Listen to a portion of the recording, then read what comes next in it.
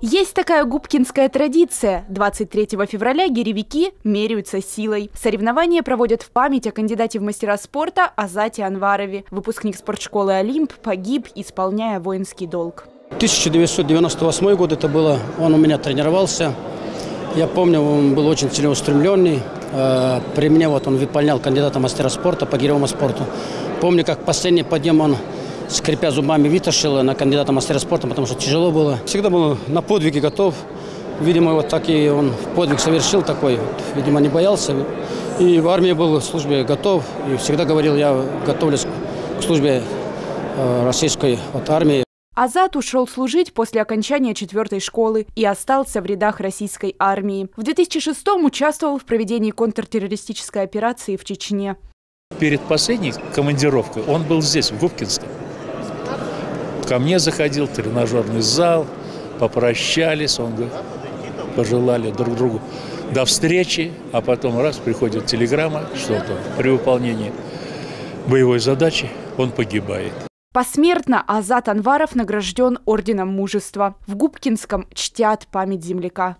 Уже 15-й юбилейный турнир проводим на призы Азата Анварова. Это турнир по гиревому спорту.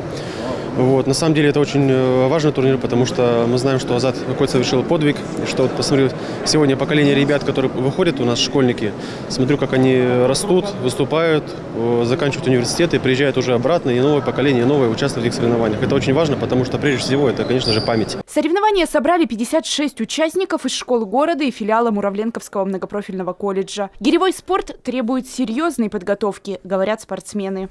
Очень надо заниматься, чтобы это сделать очень сложно. Надо много заниматься, подтягиваться, отжимания. 44 газа мог бы больше сделать. Устал просто. Поторопился, так сказать. Не надо было. Я борец. Мы там... Я не гиги. У нас на борьбе там мы занимаемся там гигами, там все дела. В общекомандном зачете во всех возрастных категориях золото у пятой школы. А вот в личном первенстве абсолютным чемпионом стал Рафаил Рабаданов. Техника все-таки больше нужна, потому что за счет техники ты поднимаешь намного больше раз. Вот, если ты будешь без техники, то ты много не поднимешь одной силой. Так как это 5 минут, я старался делать как можно быстрее, чтобы сделать больше.